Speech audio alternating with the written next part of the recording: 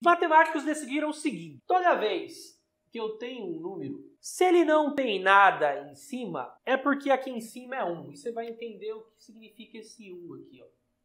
Esse 1 significa quantas vezes eu estou multiplicando este número. Então, quantas vezes eu estou multiplicando 2? Então, tá só o 2. Então, ele tem um 1 aqui em cima.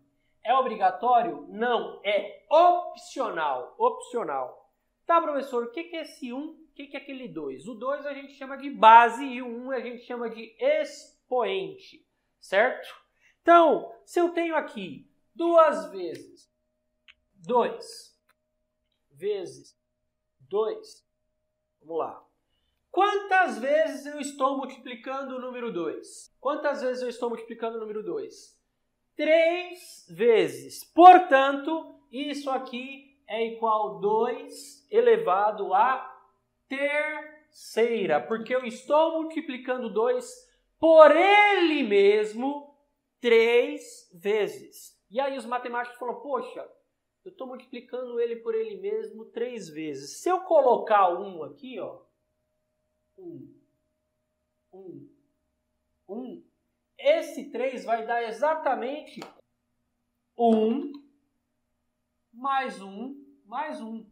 Concorda ou não concorda? Esse 3 deu exatamente eu somar cada um daqueles expoentes. Essa é a primeira propriedade que tem na potenciação e essa é meio que forçada.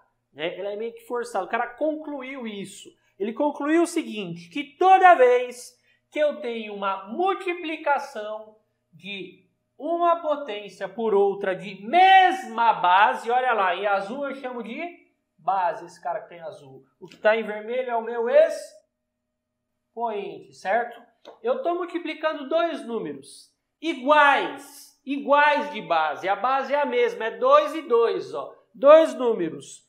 De expoente, um eu vou chamar de A e o outro eu chamo de B. Qual vai ser o resultado disso? Mantenho a base e somo os expoentes. Basicamente é o seguinte: multiplicação de potências de mesma base.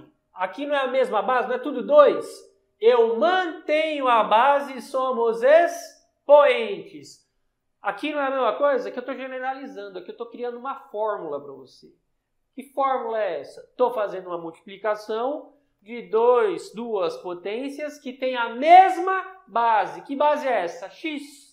Que, que significa esse x, professor? Significa que poderia ser 2 e 2 aqui. Significa que poderia ser 3 e 3.